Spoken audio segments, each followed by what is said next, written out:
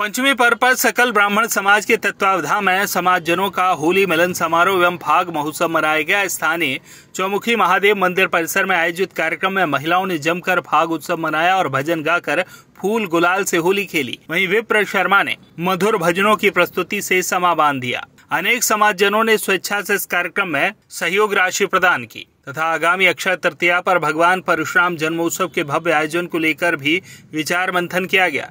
संरक्षक राधेश्याम सारू और आत्माराम जोशी ने सभी समाजजनों को होली की बधाई देते हुए सचिव रमेश शर्मा एवं अजय विश्वास जोशी ने अपने अपने विचार रखते हुए सभी समाजजनों से एकजुट रहने का आह्वान करते हुए परस्पर सद्भावना के साथ प्रत्येक कार्यक्रम में अपनी सहभागिता सुनिश्चित करने की बात पर ज़ोर दिया।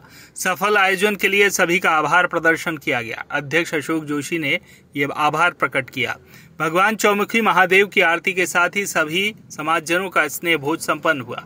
सभी पदाधिकारी सर्वश्री सत्यनारायण भट्ट, अनंत कौशिक, हरिवल्लभ मेहता, शशिकांत पांडे, रमेश चंद्र भारद्वाज, बाबूलाल ओझा, सम्राट दीक्षित, पार्षद प्रतिनिधि, दीपेश सारू सहित बड़ी संख्या में पुरुष, महिलाएँ और बच्चे उपस्थित रहे। रामपुरा से रूपेश सारू की रिपोर्ट।